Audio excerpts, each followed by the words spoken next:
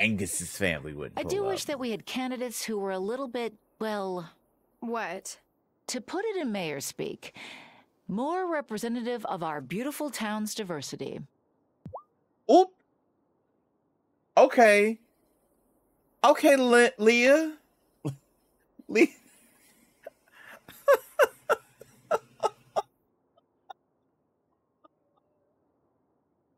yeah. Yeah,